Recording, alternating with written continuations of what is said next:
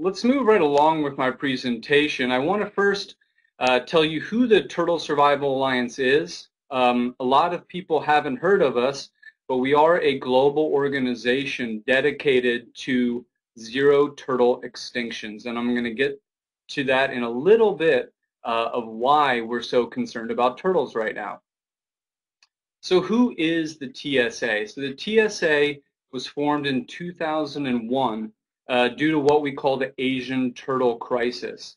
Basically, in the 1980s, 1990s, and even till today, turtles were being literally vacuumed up, um, or should I say figuratively vacuumed up, um, throughout Southeast Asia and the world to supply the food, pet, and traditional medicine markets of Southeast Asia. And this was so rampant that turtles everywhere were disappearing. So we started a task force called the Turtle Survival Alliance. Um, now we are a global nonprofit organization dedicated strictly to turtle and tortoise conservation. Uh, so we are a nonprofit. Uh, we're made up of a diverse assemblage of organizations, institutions, and individuals, all with a passion for saving turtles. Um, we have 900 dues paying members, and that includes over 50 AZA, which is the Association of Zoos and Aquariums accredited zoos. So a lot of the big zoos you can think of out there, San Diego Zoo, um, Houston Zoo, Bronx Zoo, those are all institutions that work with us to save turtles. Um, we have a lot of strategic partnerships. That means working with uh, government agencies. That means working with state agencies, other nonprofits um, to work in different regions of the world and most effectively be able to conserve the turtles there. And we have a commitment to zero turtle extinctions. Um, over the last 300 years, numerous turtle and tortoise species have already gone extinct. Now, that being said, there is really cool news. Uh, you all may have seen in the news uh, in the past few days, but a tortoise, a Galapagos tortoise, was discovered uh, by Forrest Gallant on the island of Fernandina in the Galapagos Islands.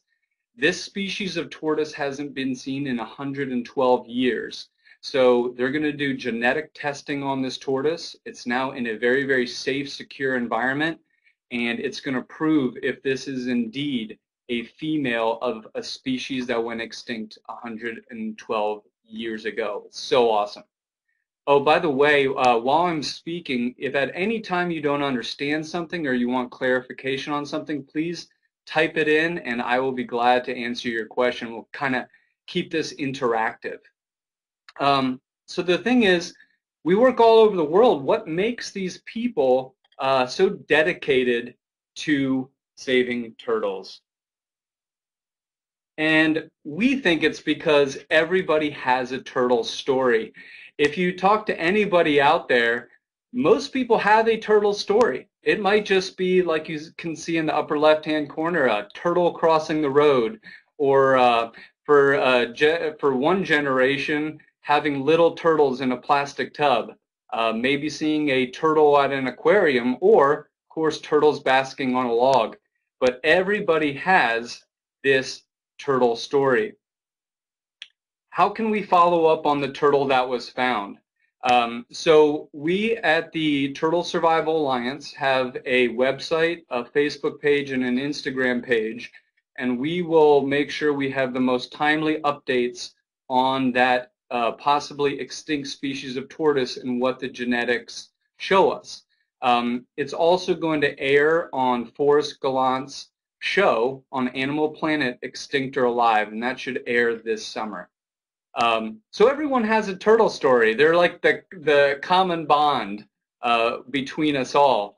You know, there's some animals out there that maybe people can't say we have a common story. Like you don't oftentimes see an elephant crossing the road and help it into the woods on the other side, or you can't always see a snow leopard um, but uh, but turtles, that's one thing that I think is a part of all of our lives. So what we try to do at the TSA is provide catalytic moments. And what I mean by catalytic moments is that thing that inspires you, that first touch of a turtle or tortoise.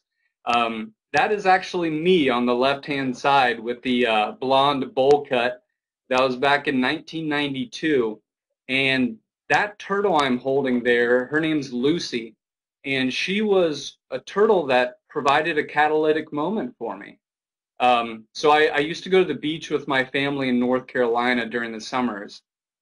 And I caught this turtle with my friends. It's called a diamondback terrapin. And I wanted to bring it home because I was a kid who loved turtles and was hoping to have a diamondback terrapin. And I brought her home and I just watched her in her glass aquarium every day and realized she wasn't happy.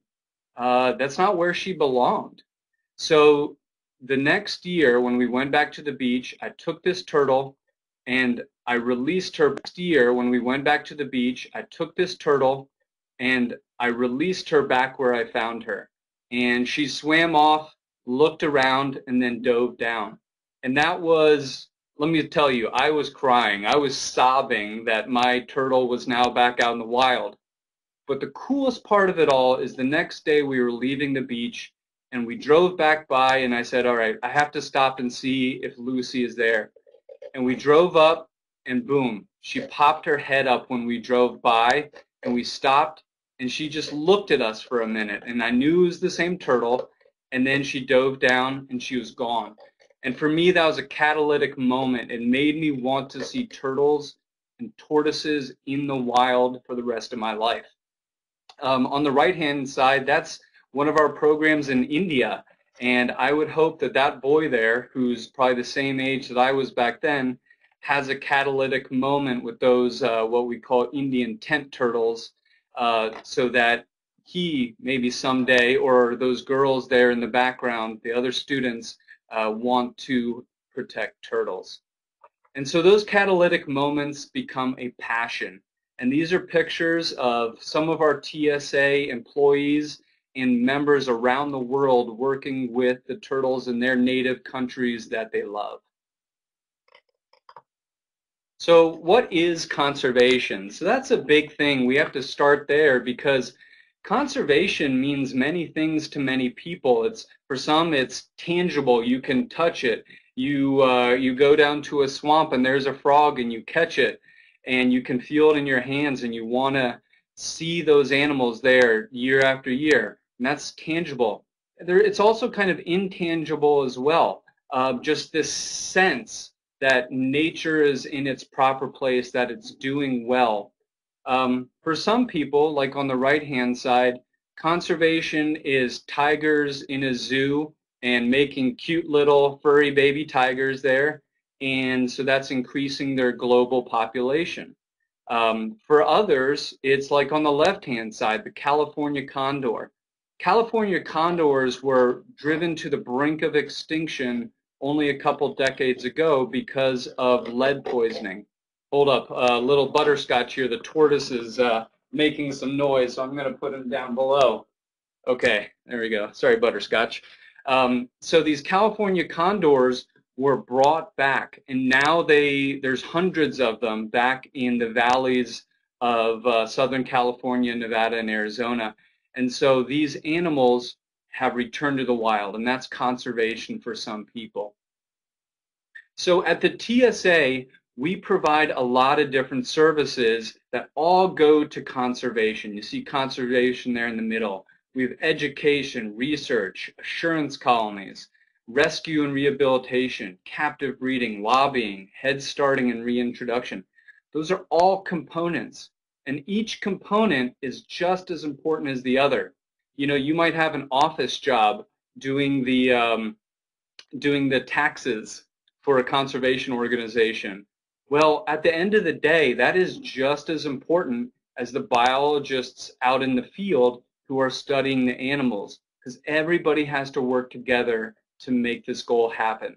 But to do that, passion has to be at the core of what you do. And so uh, we hope that that catalytic moment, touching the turtle for the first time or helping it across the road uh, and seeing it go back off into the wild safely uh, will help spur a passion. So a lot of people ask me also, isn't conservation hard? I mean, the human population grows every day. We see pollution all over. Uh, we see, you know, animals hit by cars, all sorts of things. And conservation is hard. There's no easy way to look at it. It's an uphill battle constantly. But as individuals, all you have to do is follow this simple rule of do what you can, where you can, when you can, while you're here, because the world depends on it. That means that if somebody is taking care of desert tortoises in California and somebody else is taking care of uh, red-crowned roof turtles in India or somebody else is taking care of loggerhead sea turtles on the coast of Australia, everybody in their lifetime is doing that one little part to make the world a better place, and of course for us, make it a better place for turtles. So let's talk about some turtle stats, because a lot of people aren't aware just how many turtles there are. There are 469 types of turtles and tortoises on this world. Uh, and only seven of those are marine, so only seven are sea turtles. That uh, surprises most people. We hear so much about sea turtles, and we have to give them credit where credit is due. They're amazing animals. But that means that there is 462 types of turtles and tortoises that need our help. Um, so can anybody guess, and let's see you type it in, what do you think the most turtle-rich country is? Uh, what country in the world has the most kinds of turtles? I want to wait and see if I get a response here. Who's going to take the risk? Africa. So Africa is a continent with a lot of turtles. That's a good one. The Galapagos Islands of Ecuador, uh, also really good. China. China has uh, tons of turtle species. South Africa, also good. Ecuador, yes. Really good answers because those all have a lot of turtles. Australia, yes. Ready? I'm going to change the slide. Arthur, you win. The United States of America. So the United States of America is, if you look at this map with all that red area, this shows where the highest densities of turtle species are. The United States of America is the most turtle-rich country in the world with 89 types of turtles and tortoises. Uh, the closest next is Mexico with 65, and then third place is India. And if you look, the third place country in the world has uh, less than half the types of turtles that the USA has. So uh, for, for all of you living in those top three countries, uh, congratulations. Uh, you have turtle-rich countries, and there's so much conservation work that can be done there.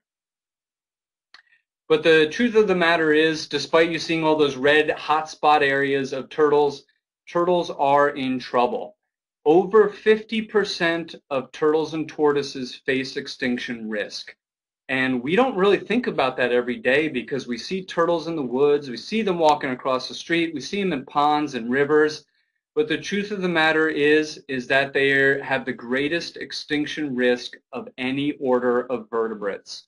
Um, so that means that any other major group of animals, big cats, um, uh, pachyderms like elephants, uh, marine mammals, none of them are at the extinction, have the extinction risk that turtles have right now facing them. So right now is the time, it's a critical moment to do what we can for these cute, beloved little creatures.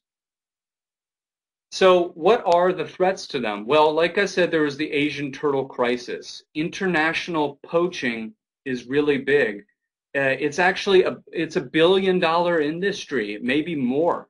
Um, turtles are poached throughout the world to feed uh, the food, the pet, and the inter uh, international traditional trade medicine markets. Uh, and unfortunately, the turtles are just taken up by thousands and thousands and thousands. I'm talking about hundreds of thousands to millions of turtles being taken out of the wild every year just to satiate the demand for these animals. Um, and then next, anthropogenic threats. And anthropogenic means human created, human induced threats. Things like subsidized predators, that's like raccoons and foxes and skunks and crows, All those feed on turtle eggs, feed on baby turtles. And the more of them there are, the more turtles unfortunately get eaten. And over time, if more turtles get eaten, the less turtles grow up to become adult reproducing turtles. Uh, then, of course, suburban sprawl, development, uh, turtles getting uh, hit on road, we call that road mortality, uh, deforestation, incidental bycatch, all of those huge threats to turtles that can happen anywhere in this world. But don't worry, the TSA is there to help. Uh, we have range country programs uh, in 16 different countries or regions around the world. So we really have a large global impact, such that we impact 20. We make a positive impact. That means we are breeding them, we are releasing them back in the wild, we are helping bring these turtles back from extinction. So we're helping 20 of the top 25 most endangered turtles, or 39 of the top 50 most endangered turtles. In fact, the TSA works with one third of the turtle species on Earth. So we really do have a large impact. But there's always more that can be done. You can do so much just in your own homes, in towns and communities to help turtles out. So what types of turtle is that? That's a really good question. That is a beautiful turtle. That is called uh, the golden-headed or yellow-headed box turtle. It is a Chinese native, and um, it is now uh, functionally extinct in the wild, which means that there might be a couple out there across the landscape. Uh, they live in this mountain range in China called the Huangshan Mountains, and there's probably not enough left to even have individuals breed with each other anymore. yes, Deb, it is really, really cute. It's a super, it's one of my favorite turtles. They're amazing. Um, so again, showing you, these are the top 20 out of the 25 turtles that we make an impact for across the world. And you can see the little points that show where we work with those. Notice that most of the points go to Southeast Asia. Again, the Asian turtle crisis. These turtles are in a lot of trouble. And uh, most of the ones in the top 25 do come from Southeast Asia. So I want to take you around the world uh, to show you what we do in these different countries. So we're going to all uh, board TSA Air. You're going to have to put your tray tables up, uh, put your seats up, get comfy, put on a Snuggie or a, a neck brace in your classroom there. Hopefully your teachers uh, told you to bring those. Um, no, that is not me with no beard.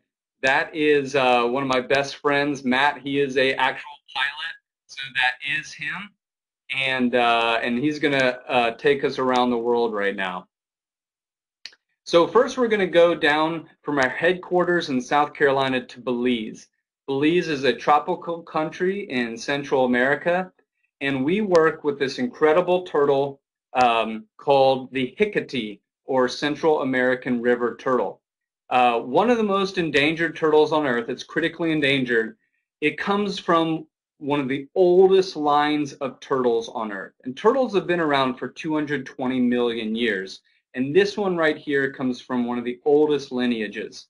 What is so cool about this turtle is they can basically survive underwater for un nearly unlimited amount of time. Um, they have a highly vascularized uh, uh, papillae, uh, so these little things that grab oxygen in their larynx, in their throat. And so what they do is they pump water into their mouth like a fish. Uh, these uh, papillae grab the oxygen, it dissolves across the membrane of the papillae and goes into their bloodstream. Um, and then they expel the water through their nose. So they they're they're basically the turtle that is the closest to a fish. It's really cool. Um, but we partner with the Belize Foundation for Research and um, Environmental Education in Belize. Again, we partner all over the world. That's how we make these things happen to bring the Hicatee back. Um, let's see, is the neck that, that long to increase the surface area for that function? It is. It's hard to see there, but they have a very long neck um, and so they are able to uh, take in the dissolved oxygen from the water. And what's amazing about that is this is Belize. Uh, these are cold-blooded animals. That is warm water. So they do have to extract enough oxygen from the water to be able to feed their metabolism in those warm waters. Um, so next, we're going to hop from Belize down to South America to Colombia. And in Colombia, we have an amazing program where we partner with the Wildlife Conservation Society and we're helped by uh, uh, numerous uh, different uh, organizations and funders like Disney, Econ Viva, and Santo Domingo Foundation.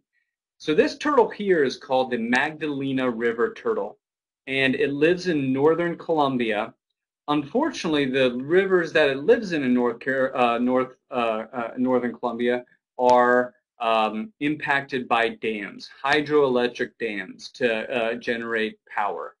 And when they put these dams in, what it does is it floods the nesting beaches. Well, much like sea turtles, this turtle comes up on the uh, sandy beaches and sandbars to lay their eggs. But if the dams flood the beaches, the turtles either can't lay their eggs or after they've laid their eggs, the water floods the beaches and the turtles drown. So what this amazing program has done is to go out and protect the nests, collect the eggs, translocate them, which means take them out of the nest, move them into safe hatcheries, hatch the babies, and release them into the wild.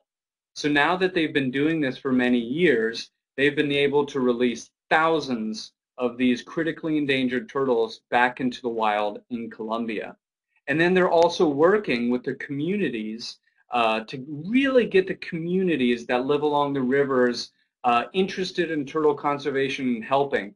And it's worked so well that the communities, you can see some of these pictures, they're so behind it. Uh, I mean, this is uh, almost grassroots uh, conservation at its best. The communities are fully behind that, and that's what we strive for at the TSA. Next, we're going to go to Madagascar. Many of you seen the movie. Most people haven't been there. Um, I was lucky enough to go to Madagascar last year for a month, um, unfortunately for a very sad reason. So last April, uh, this beautiful tortoise you see up in the left-hand corner called the radiated tortoise uh, it's not radiated because it went to this uh, some nuclear site and got uh, radioactive. It's radiated because the beautiful lines on the shell. Um, it is highly coveted by international turtle and tortoise smugglers. So they are taking radiated tortoises out of the wild by the thousands. Well, last year at the TSA, we got a call early in the morning. It was like 4 o'clock in the morning that radiated tortoises had been confiscated from poachers, and it turned out to be 10,196 of these tortoises. And these tortoises very, grow very large and they grow very old. They can live up to almost 200 years old. So the TSA um, made a task force. We, we incorporated volunteers and different zoos and different nonprofits from around the country and around the world to go help these tortoises and we gave them medical care, we gave them food and water. We actually stayed there in Madagascar for three months, nonstop, every morning to every night, giving these tortoises care. And through that, 90% of them, I think even 95% of them survived. And so now they're, they're in the country, they're doing well. And that's what we do all over Madagascar. We take care of radiated tortoises. We take care of plowshare tortoises which is the tortoise in the lower left-hand corner. By the way, uh, that tortoise in the lower left-hand corner um, is the most endangered tortoise in the world. Uh, there's probably less than 50 of them, if that at best, in the wild. So the time is is it's so critical to do what we can for this tortoise. Now let me see. You have a question there. Uh, do you know how people get them out of the country? Uh, two major ways. Uh, they get them out of the country by airplane. They uh, pack them up into suitcases, as many tortoises as they can pack into suitcases, and try to get them out of the capital airport um, in the capital of Antananarivo. Um, that is where a lot of the confiscations get stopped. And then also, they get them out by boat. So uh, smugglers will pack them up into boxes. Again, it's really sad, as many tortoises as they can pack into one box. put them onto a, a, small boat that takes them out to a cargo ship offshore, and then that cargo ship takes off. Um, sadly, these animals are vanishing into the night. Uh, if you all have learned about the American bison or buffalo story here in the United States, this tortoise is undergoing the same thing.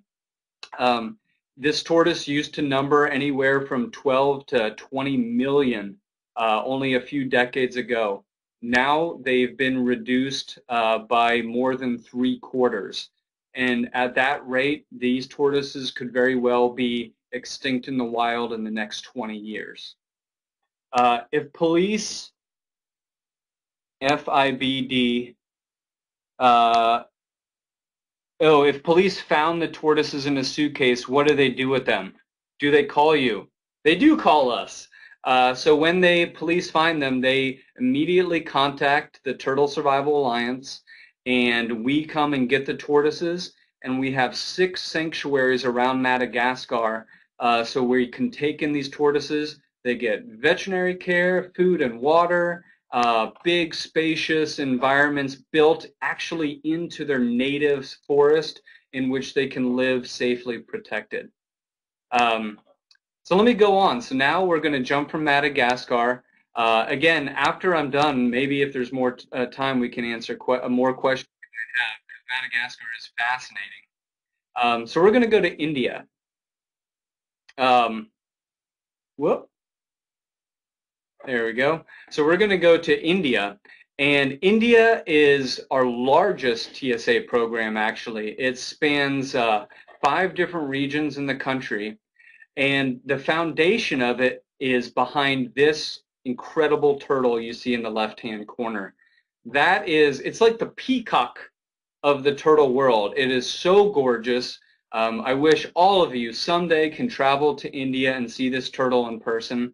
It's called the Indian red-crowned roof turtle, and it is a critically endangered species, and it lives in the rivers of India. And much like sea turtles and much like the program in Colombia, those turtles come up on beaches in this river called the Chambal to nest. Um, unfortunately, poachers take the eggs, um, uh, monitor lizards come down and take the eggs, uh, wild jackals, wild pigs. So as a critically endangered species, we have to protect this turtle. So the same kind of thing. Uh, we have people there that during the whole nesting season go out, they dig up the eggs, they translocate them, so move them to protected hatcheries, and then the coolest thing happens. Our, our, uh, our field technicians, our volunteers, set up tents next to the uh, hatcheries, and they stay there the whole entire time, all uh, four months while they're incubating and, and, and hatching, uh, so to protect the nests.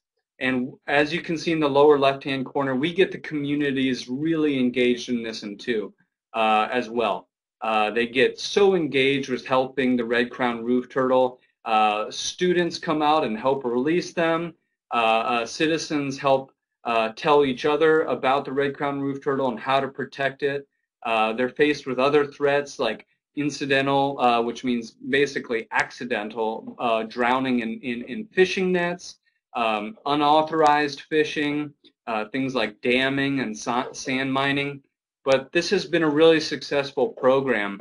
Um, lately, we've had to um, kind of not switch focus, but take on another big task because this other really uh, cool turtle. It's a uh, enigmatic turtle we call it. It's uh, it's it, it's just so interesting. It's enigma to us. It's called a flap shell turtle. It's kind of like right in between a soft shell turtle and a hard shell turtle. It's like the evolutionary link in between those. And they are being poached out of India illegally um, by the tens and tens of thousands for food. So what we've been doing is uh, working with uh, the police in India, the government, to stop these poachers, to get these uh, turtles back from the poachers, rehabilitate them, and release them. And so we've been working on that all winter long. Um, so from India, I want to jump over to Bangladesh. Uh, Bangladesh is a Southeast Asian country. Um, again, a country um, very few have been to. It's a really interesting country, amazing habitats there. Um, they have this place called the Sundarbans there, um, and the Sundarbans is in southwest Bangladesh into India, and it's this huge, it's the biggest mangrove forest in the world. So the mangroves, these plants that grow in the uh, salty tidal flats, and they have uh, tigers that live just in the uh, Sundarbans. They have uh, crocodiles, and then they have this. Uh, that turtle that you can see there is, again, one of the most critically endangered turtles. It's called the Batagur baska, the, um, the northern river terrapin and there are only literally a handful left in the wild. That's how few their numbers are. So again, uh, we're working to bring all the turtles that we can into safe, protected breeding colonies called assurance colonies, have them breed, have them lay eggs, hatch the eggs, and then raise the young till they're a larger size. And then we do really cool stuff uh, called radio telemetry, where we put radio transmitters on some of the turtles so that we can track where they go because the Sundarbans is such a big area. It's tidally influenced. You have water flowing everywhere. It's this really cool, it's like a maze of mangroves. And to learn where the turtles go and what habitat they use, uh, doing these sonic telemetry is the only way to do it. So from Bangladesh, we're going to hop over to Myanmar. And Myanmar has a conservation success story that's on the level with bald eagles, uh, American alligators, gray wolves, um, in that it is a species that was taken from being functionally extinct. That means there's only a few left in the wild that was taken from being functionally extinct. That means there's only a few left in the wild and they probably will never meet each other to breed. Um, we've taken it from being functionally extinct now 15 years later to having uh, about 20,000 of them uh, in Myanmar and around the world, most of those being in Myanmar though, um, where they are now being released back into the wild by the thousands, not by the tens, not by the hundreds, but by the thousands. Um, and again, they're radio tracking them. And if you look in the lower right-hand corner, this is the coolest thing. These tortoises are already breeding in the wild. We're already finding new little cute, super cute hatchling tortoises um, out in the wild in Myanmar, also known as Burma.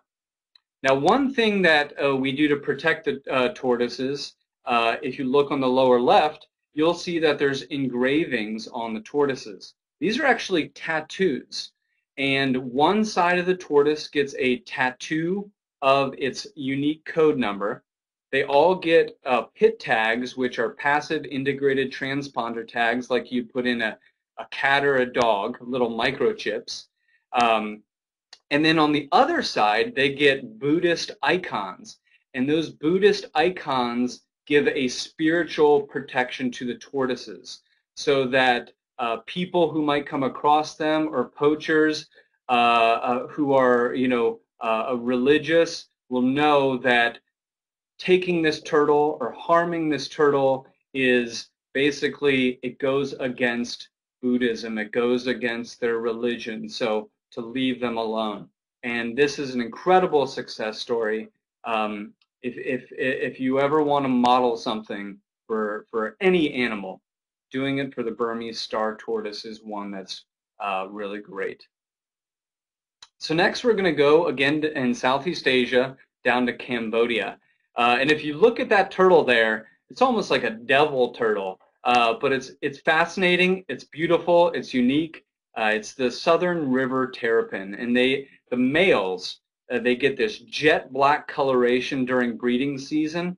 Uh, and most people don't think that a, a turtle could change colors during breeding season like a bird would. Like when birds migrate in the fall, they come down and most of them are brown or they're kind of this muddy color. Uh, and then they go down to Central and South America for the winter. And then they come back up and they're in these beautiful breeding plumages, these beautiful breeding colors. And that's what this turtle does. So the males will turn a beautiful jet black color and get these bright golden eyes during the breeding season. So in Cambodia, we're primarily working with the Wildlife Conservation Society and uh, and uh, Wildlife Reserve Singapore and Ocean Park Hong Kong, uh, to uh, and of course uh, the uh, the Cambodian government to bring this turtle back. Again, this is another turtle who, yep, you can count it on about two hands how many wild turtles there are left out there, maybe even one hand. Um, this turtle is extremely rare, and again, it's a riverine turtle. Notice that I've been talking a lot about these riverine turtles. Uh, there's so many things that can impact these riverine turtles in Southeast Asia.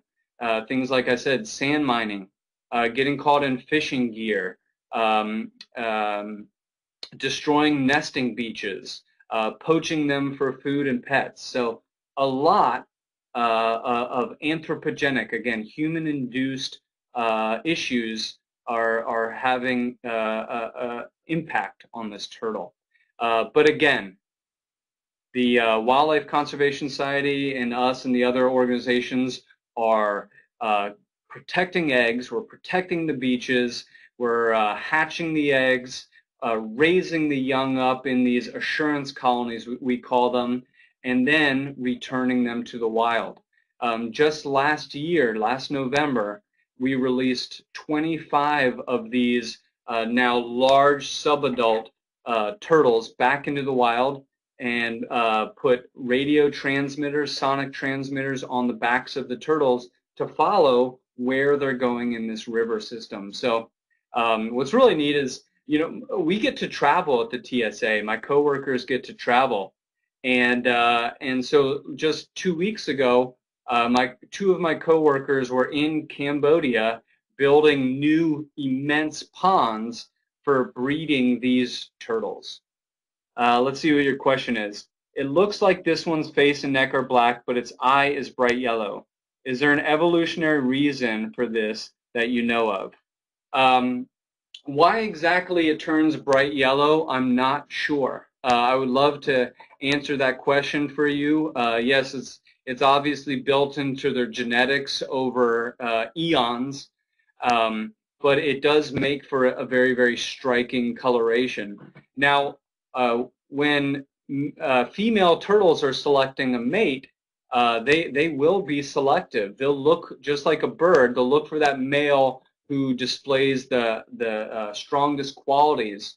Um, I would say that if you're a female turtle, uh, a male with a really good jet black coloration and bright golden eyes is going to be uh, much more um, uh, fit for mating uh, in, in the female's perspective.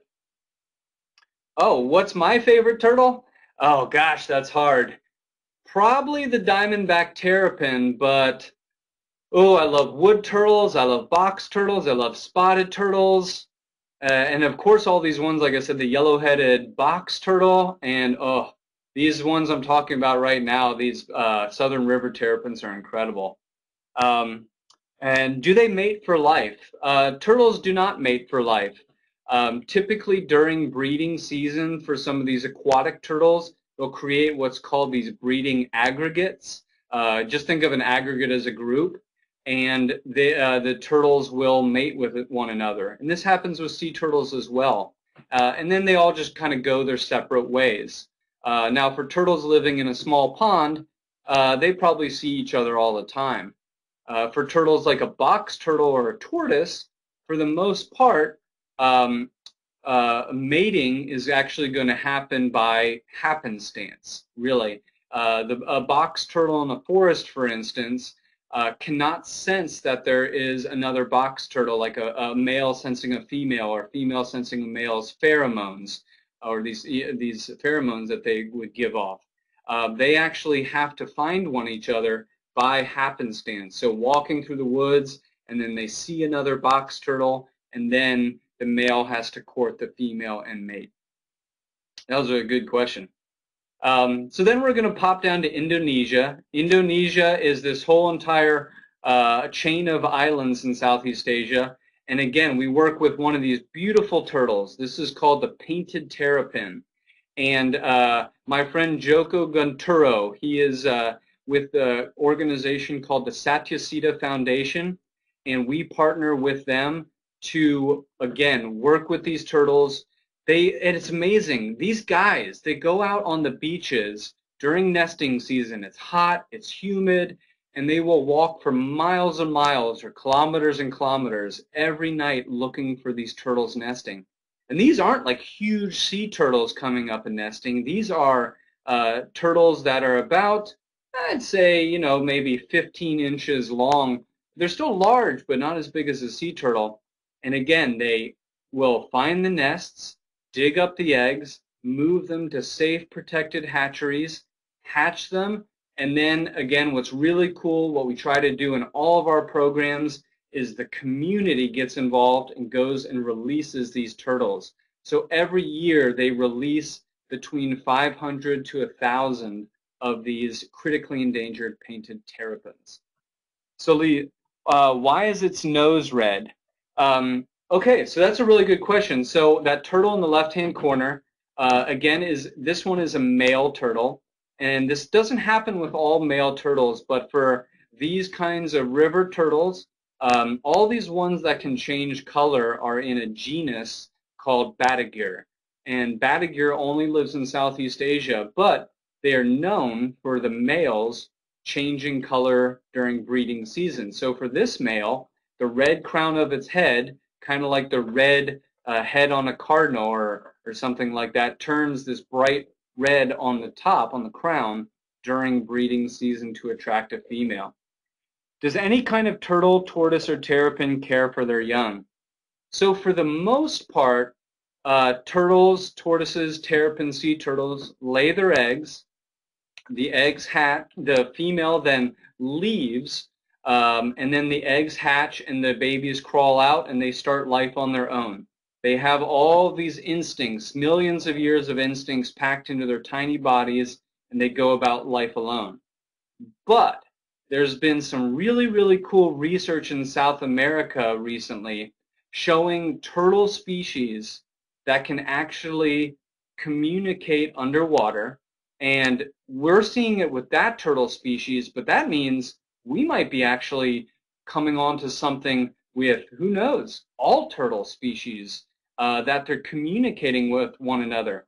And through their research in South America and Brazil, they're seeing the big female turtles wading offshore off these sandbars. This turtle is called the giant South American river turtle, or the um, and the uh, and the when the hatchlings come out, the females will make sounds underwater, and the hatchlings will follow the females to the best hiding spots and the best food spots. So it's opening up this whole Pandora's box for what we didn't know about turtles and for what we can research and find out. So it's so cool.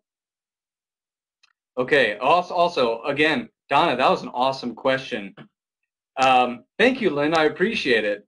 Um, so we're going to go to China. China, again, it's it, it's an amazing country.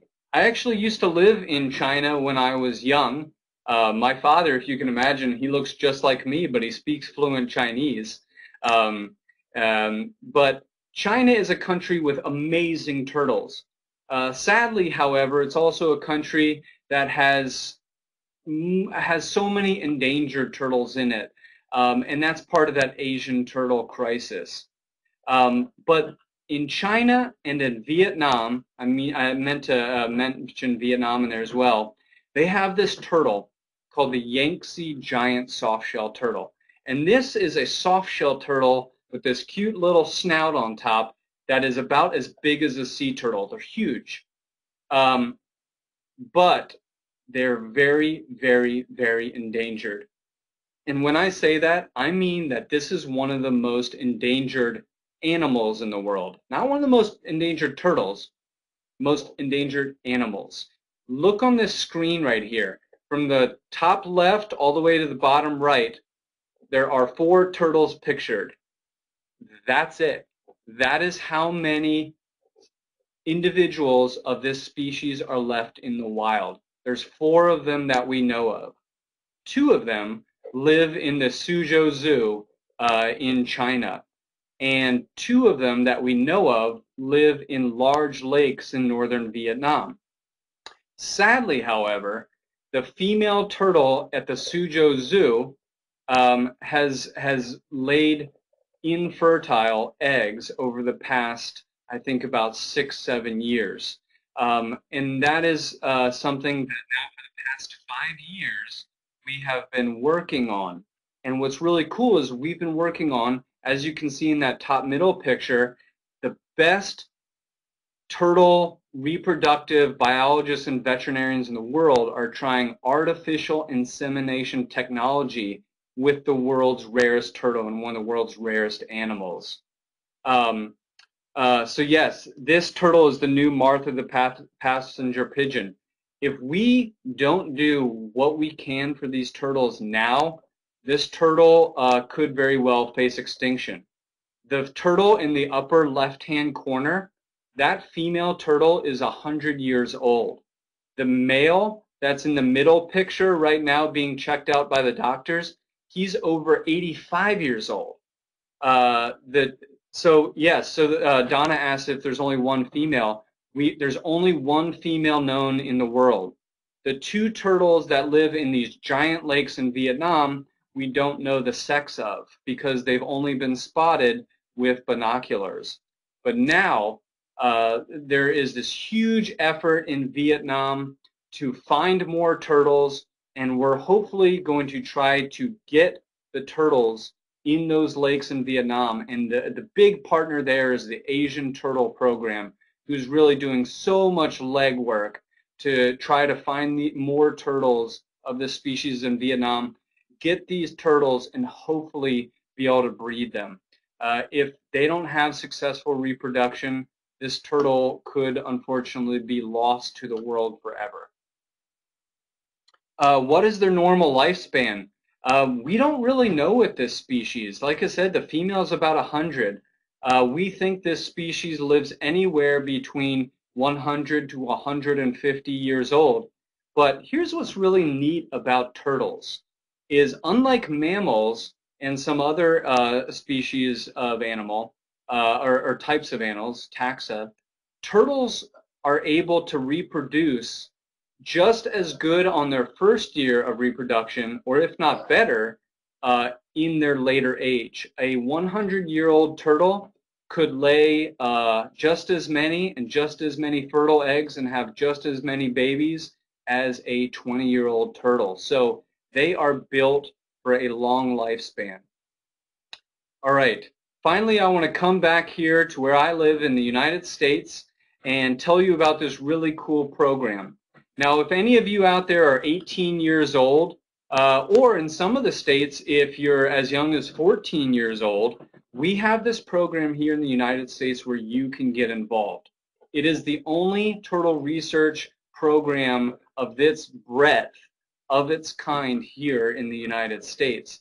And what we do is we have citizen scientists come out with our professional biologists in Texas, Florida, New Jersey, Pennsylvania, and Tennessee and research turtles with us. And it's so cool. Like this is this is like vacation, okay? So we put on wetsuits, we put on masks, snorkel, fins, and we go in these springs and we catch the turtles. We take all of their measurements, what sex they are. Uh, we put a little pit tag in them, a little microchip so we can track them. And we track them for years and years so that we can get an idea in these uh, environments across these different states, how are the turtles doing? How are they doing over many years? And as you can see, there's people of all ages in these photos. Uh, you know, people from, like I said, uh, I think in Texas, our youngest researcher was seven years old, uh, came out to help us out. He came with his parents, uh, all the way up to people in their 60s uh, and 70s. So something anybody can get involved in. So yeah, there we go. How can we do that? Um, at the end, I'm going to show you exactly how you can do that and get involved. Um, and so we're going to uh, end our world tour landing back into, uh, into Charleston here in South Carolina where we're based at, at our Turtle Survival Center. And the Turtle Survival Center is this uh, center uh, that we have uh, some of the world's most endangered turtles and tortoises at, uh, where we can have assurance colonies, which means if they go extinct in the wild, we'll be able to preserve the species. Uh, we can breed them here. We can study them.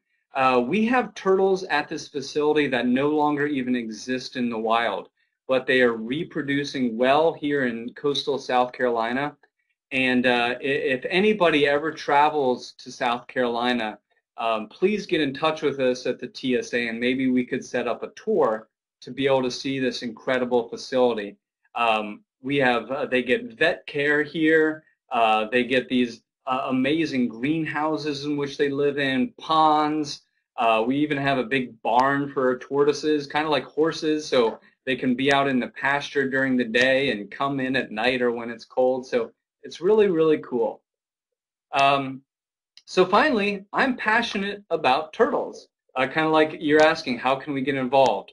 Well, one, um, please join us at the TSA. Uh, Turtle Survival Alliance is uh, the, the biggest, most widespread turtle and tortoise conservation uh, organization in the world. No matter where you live, you can get involved. You can become a member. Um, oh, I want to answer this real quick. Do turtles do better in captivity or in the wild? Really good question.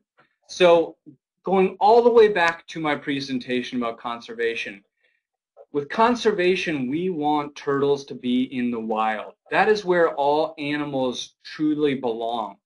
The sad fact of the matter is, for some animals, like some of these critically endangered turtles, the wild is no longer safe enough for them to be in.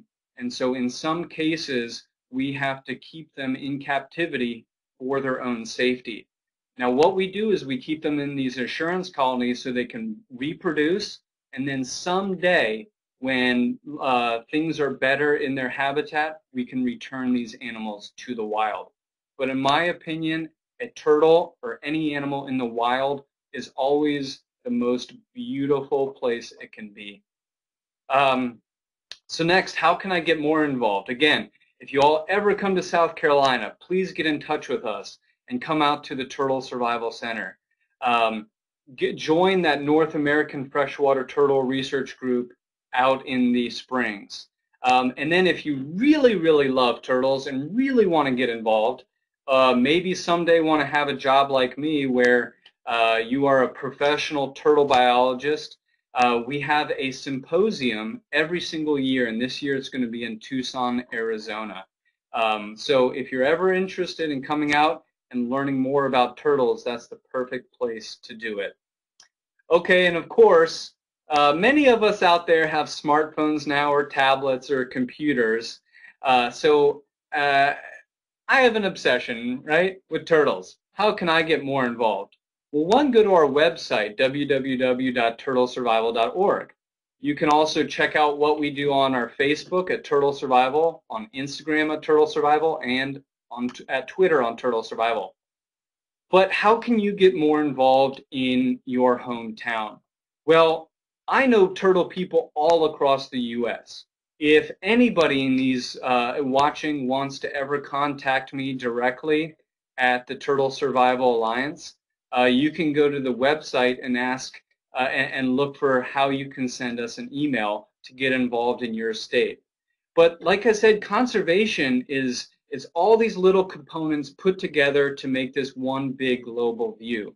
So the best thing to do is start in your hometown, start right there in your community with helping turtles cross the road. Uh, maybe turtles are nesting in an unsafe area and you can get a program going to uh, protect the nests. Maybe people are even just catching turtles on fishing line and not treating them well and you can go and explain to them uh, how how, how they can help turtles uh, uh, rather than harm them. There's so many different ways. And again, feel free to contact us at the Turtle Survival Alliance. We know people in every single state uh, and that we could help you all get involved. Um, so what I want to leave you on is a quote from this gentleman named John Behler. And John Behler was this amazing turtle biologist. And he said, Despite problems conserving turtles, there, will, there are success stories. These have been long, arduous affairs, and for the most part, they have been the work of extraordinarily dedicated individuals. The turtle wars will be fought and won by individual turtle men and turtle women who are on divine missions from the Chelonian gods to save their species. And I think that just sums it up for me and for all of my colleagues and friends around the world who have dedicated our lives to turtles. We are fighting to keep these beautiful animals on the planet. There is only so much time left for them if we don't act, and basically the time is now. So I want to thank you all very much for listening and for asking me questions. And I think we have a few more minutes. If you all would like to ask me any turtle question, any turtle question on Earth, I'll answer it for you. So please go ahead and ask a couple questions. We have a couple minutes. I'll look down at my screen or were you excited to learn that they found the tortoise in the Galapagos that they thought was extinct? You bet I was um, it's always amazing for us to find an animal that we thought was lost for so long. This is not the first turtle or tortoise that they thought was extinct that they found again. Um, and so it gives us hope that this tortoise could be uh, returned from basically an animal lost forever to maybe an animal with a breeding population. But what's really cool about it is us in the conservation community are so connected with one another that the uh, gentleman who found the tortoise, Forrest Galante, and his expedition team, uh, Forrest is a good friend of several of my friends. So I know that for them, it was so amazing to have one of their good friends find this tortoise that was thought to be extinct. Good question. Who's your favorite Ninja Turtle? uh, I think it's Raphael. Uh, I was always a huge fan of Raphael. Uh, I love the color red, and also uh, I remember Raphael being, uh, you know, he he had the cool size, and he could mix it up like this with the size, and I think that'd be more my style. So yeah, Raphael. Um, do most turtles hibernate? If they do hibernate, do they do it in mud? Awesome question. So this also brings me to a really cool learning point. Turtles and tortoises and reptiles don't hibernate. What they do instead is they uh, is they brumate. So when an animal hibernates, is this uh, is they brumate. So when an animal hibernates, is this whole other physiological thing going on with their body than with a cold-blooded animal like a reptile, reptile or an amphibian with which brumates. So a, a, a warm-blooded animal like a chipmunk uh, will store up fat and then their heart will go to an extremely low beat while they're cold, basically shutting down their body. When it starts to warm up, their heart will basically kickstart again and start beating back at its normal rhythm a, a turtle or a tortoise or reptile, because they're cold-blooded, the outside temperatures affect their inside body. And so what happens is when it gets cold, the turtle or tortoise gets colder and colder, and they go into this uh, state of basically torpor or brumation. Now, if you warm them back up, they will then, their bodies will warm and they'll come back to life. Um, but not all turtles and tortoises brumate uh, really only turtles or tortoises that live in areas that get cold enough for them to brumate. And, um, some turtles that live in hot, hot, hot areas like in sub-Saharan Africa might go into what we call an estivation. And an estivation is where their body almost shuts down because it's too hot. So they go into this kind of hibernation-like state called estivation. Um, um, can we see butterscotch again? I knew somebody would ask that. Yes, you can. So again, this is butterscotch, and butterscotch is a Forsten's tortoise a or a Sulawesi forest tortoise. Let me get him up close to the camera. Oh, he's so cute. Um, and he is a critically endangered species. So say hi to everybody, Butterscotch. Let's see some more questions. How long can their claws go grow? Well, that really depends on the species.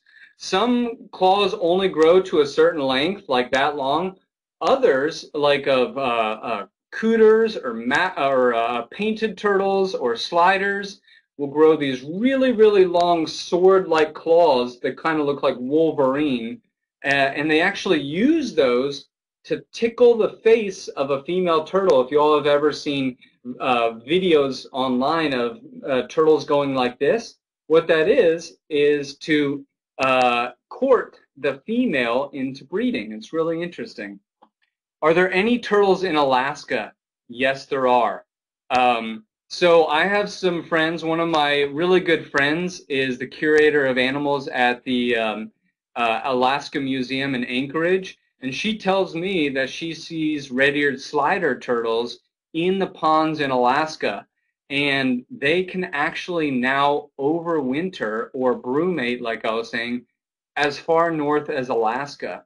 Uh, the red-eared slider is the most, I'd say, prolific turtle on Earth in that uh, they've been traded all over for the pet trade, and people have released them, and now the red-eared slider lives on every continent of the Earth except for Antarctica. But they live as far north as uh, Norway, Sweden, Alaska, way up into Canada. Um, it's amazing, really, what they've been able to do. Um, sadly, they're still an invasive species, but that doesn't mean that their adaptation strategy hasn't been incredible. Let's see, how much bigger will butterscotch get? So butterscotch is going to get about this big, about one foot long. Um, and butterscotch now is kind of flat. Its shell will actually grow into a nice big dome uh, once it's an adult. So it's really cool. like it raises kind of like a, a, a, muffin in the oven. Um, yes, it is cute. Do any climb trees? There are climbing turtles out there. Uh, now, as far as trees go, maybe not so much, but uh, some turtles off the top of my head that climb, the North American wood turtle that lives in the United States and southern Canada, they're very good at climbing. Uh, snapping turtles are very good at climbing. Uh, box turtles are good at climbing. Uh, then there's this one in Southeast Asia called the Chinese big-headed turtle. And it has this great big fat head, uh, but this flat little shell, but its tail is about as long as its shell. And it can use that tail, basically it's almost prehensile. So it's almost like something that can hook onto things and use it to crawl up wa rock walls. Uh, and that kind of turtle lives in these very steep, uh, clear flowing streams in like Thailand and uh, Cambodia and Laos. And uh, so there are turtles that can climb, yeah. Oh, I like that. Wow, wow, wow, wow, wow, wow, wow. So uh, if anybody has any more questions, I'd be glad to answer them. Um, I, am not sure how much more time I have. Maybe uh, maybe Deb can tell me. Is there a turtle that can have a live birth? Um, so no, all turtles uh, lay eggs. Um, some lay very hard-shelled eggs, like a, uh, a tortoise typically lays a hard-shelled egg, while like a red-eared slider or a spotted turtle um, lays a uh, kind of a soft-shelled egg. It's very leathery in texture. Um, but the but all turtles uh, and tortoises undergo the same type of incubation process in that the warmth of the ground incubates the egg. And then after anywhere from 45 days all the way to a full year for some species, the egg will then hatch out. Um, what's really, really neat is the turtle that I showed you at the very beginning, the hicatee or the Central American river turtle that can kind of breathe underwater. They will lay their eggs in mud right along the bank of the river. and the river levels will rise and it will flood the eggs. Now, for a lot of turtle species, that would mean doom if water flooded the eggs. But for that species and some others around the world, when the, uh, the water levels flood the eggs, the eggs go into this state called a diapause. And that means that they actually arrest or stop development until the water levels go down again and then they start developing again. I mean, that is extraordinary evolution right there. Um, all right. Hey, thank you so much. I, am glad you all uh, learned something and, and, enjoyed this chat. Um, if there's any last question, I'd be glad to take. If not, uh, please uh, uh follow us at the TSA. Uh, Debbie says, I was just in South Carolina last week. Wish I knew to visit you guys. Ah! I wish you knew too. I would, I would be glad to take you around and, and show you our turtle survival center. So I'm sorry I missed you, but um, again, please, everybody, uh, feel free to uh, check us out on our website, our Instagram, our Facebook at Turtle Survival or turtlesurvival.org. Get involved with this. Drop us an email if you want to learn more. Uh, I would be glad to uh, help each and every student out there who wants to learn about turtles, learn about turtles and learn how they can get involved. So thank you all so much and uh, I hope to see you again on another uh, uh, biodiversity teach-in. Okay, take care.